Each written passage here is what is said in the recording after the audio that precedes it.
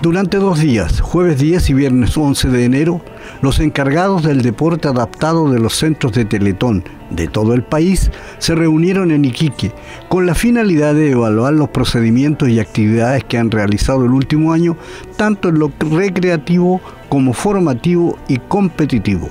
en un contexto de que el deporte adaptado ya ha crecido en Chile, nosotros como Teletón tenemos que aumentar nuestra participación social comunitaria. Por lo tanto, los enfoques del 2019 y 2020 van a estar en mejorar la participación en la clase de educación física de los niños que tengan alguna discapacidad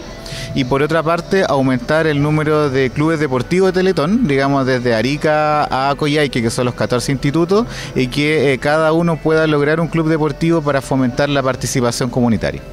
Esta es la tercera jornada nacional, primera en Iquique, que reúne a los encargados del deporte adoptado de los 14 institutos Teletón del país para el intercambio de experiencias. Eh, el mejorar los test de evaluación para personas en situación de discapacidad, también en temas de inclusión escolar, lo que tiene que ver con las clases de educación física directamente con los muchachos eh, insertos en el sistema educacional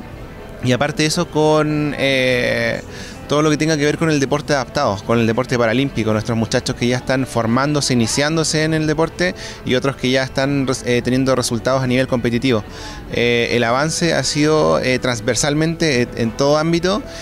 Bueno, Temuco tiene varias disciplinas en donde hemos destacado siempre lo que es el tenis desde hace mucho tiempo, en la natación, el tenis de mesa. Tenemos una campeona panamericana que está Mara Leonelli,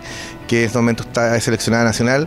Y, ahora también tenemos eh, el Club Deportivo, que es uno de los dos clubes deportivos que se hicieron en Teletón a nivel nacional, en donde eh, justamente estamos eh, desarrollando las disciplinas deportivas y también enfocando un poco el club de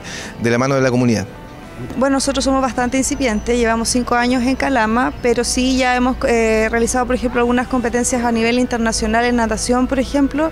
El año pasado participamos en los Paralímpicos de Antofagasta también, con bochas y natación y obteniendo bastante buenos resultados. Y más que eso, en realidad, eh, el tema de que los chicos puedan participar en un evento deportivo y saber lo que es un evento deportivo, las competencias, el hecho de haber entrenado todo el año para ir a una competencia, el hecho de desarrollar las habilidades blandas y todos los beneficios que tiene obviamente realizar cualquier actividad deportiva o un deporte en sí. Bueno, esta jornada busca eh, eh, unir criterios, ya que todos los institutos manejan una manera de poder trabajar con los chiquillos. La idea es que todos podamos utilizar estos mismos criterios y, para poder evaluar, para poder trabajar y que tengamos una media, así poder evaluar a nuestros pacientes y así también a nuestros chicos y generar eh, instancias de, enseñanza, también para que después podamos replicarlo con los profesores de educación física en los colegios. La finalidad de esta jornada, junto al intercambio de experiencias, es conocer de nuevas técnicas de trabajo con los deportistas adaptados, participando de actividades de capacitación en forma conjunta con demostraciones en vivo.